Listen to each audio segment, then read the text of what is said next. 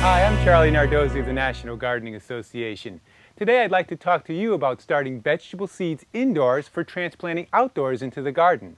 Now you don't need a greenhouse like this one to start your own vegetable seeds indoors. You can do it at home and there's lots of advantages to doing that. You can save money as well as grow a wider variety of vegetables than you normally would find in a garden center in spring. Now some vegetables such as carrots, beets, radishes, beans, and peas can be directly sown into the garden in the spring.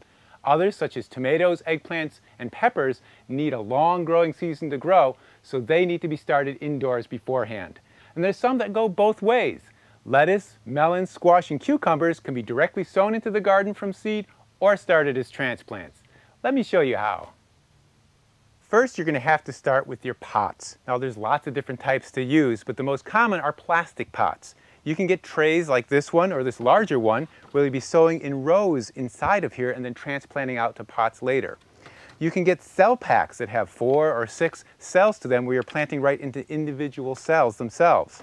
Or you can try another type of material like peat pots. Now peat pots are made from compressed peat and the advantage is you can plant this pot and all into the soil. You don't have to pop the transplant out when you have to plant. The peat will decompose and the plant will continue to grow. Now, if you don't want to have your own seed starting system, you can buy one that's already set up for you. This one has a nice humidity dome to it. They have cell trays in here where you can have the seedlings. They have water reservoirs where they'll self-water. And some of them even have heating mats. Now, once you have your pots, you need some soil to put in them. What you want to get is a germinating mix of soil. This is a very lightweight soil. It's sterilized and it's really easy to use. You want to put these in the pots and pre-moisten it, then you want to sow. Now you need some seeds. When you're buying your seed packets at a garden center, you have to look on the back of the packets because there's a lot of great information there. The first thing you want to look for is the date. You want to make sure it's this year so it's fresh seed. Also, you want to look for days to germination, days to maturity, and how many weeks you'll need to grow these indoors before you can transplant them outdoors. For example, tomatoes need about six to eight weeks indoors before you transplant them. Now, once you have everything together, let's go sow some seeds. I think I'd like to start with some tomato seeds. Now first I'm going to use a six cell pack and I'm going to fill it up with some moistened germinating mix. You want to pre-moisten the soil so that it goes right into the pack easier and you don't have to worry about wetting it later.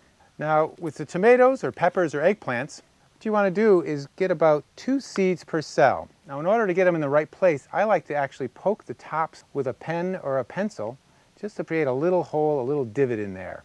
And what this does is directs the seeds and gets them at the proper depth. So then I'm going to tap in, oh, just a couple seeds per cell. Don't worry if you get a few more in there than normal because we can always thin them later. Once they're in, you want to just squeeze them down, fill in the cells a little bit, add a little more soil if you need it. And then before you put them away, make sure you put a plant marker out. Mark down what it is you planted and when you did it. Put that right in there because if you're starting a lot of them, it's easy to get them confused. When they're done, get a plastic bag and pop them right in the plastic bag. Now most vegetable seeds don't need light to germinate, but they do need to be kept out of direct sun and warm and moist. So find the right place in your house.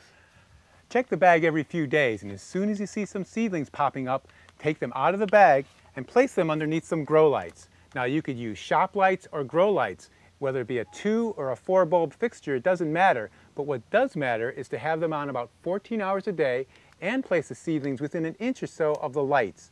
That way they'll stay short and squat and sturdy. As soon as these leaves come up and it's obvious how many you have, is to actually snip off all the ones you don't want to keep in there and keep one healthy one per cell. Mist them every few days. Put a little liquid fertilizer in there too. It's a nice gentle way to water your plants without disturbing them.